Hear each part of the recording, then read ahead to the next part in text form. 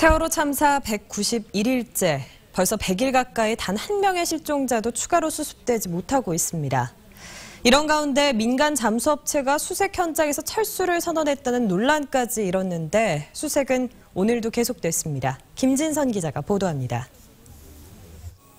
세월호 실종자 가족들이 머물고 있는 진도 실내체육관. 민간 잠수업체가 더 이상 수색을 할 수 없다며 철수를 선언했다는 일부 보도에 격앙된 분위기입니다.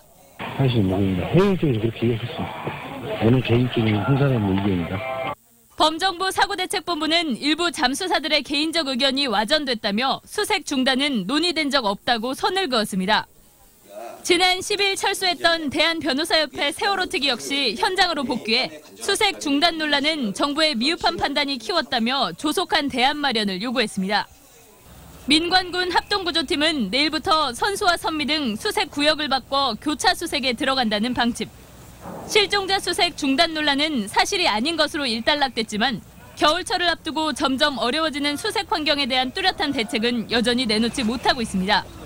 한편 실종자 가족들은 수색의 최종 수단으로서 선체 인양도 검토하고 있다는 뜻을 밝혔습니다. MBC 뉴스 김진선입니다.